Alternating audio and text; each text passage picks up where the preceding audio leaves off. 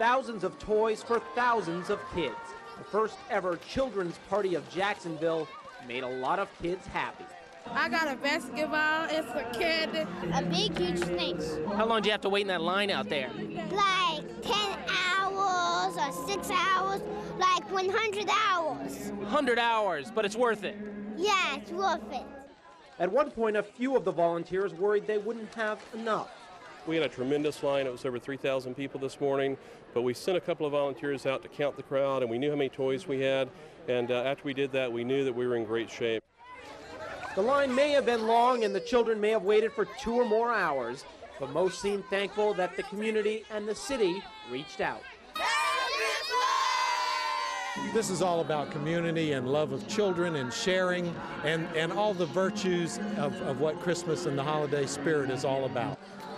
In the end, 5,000 kids had come through the Prime Osborne Center and walked away with toys.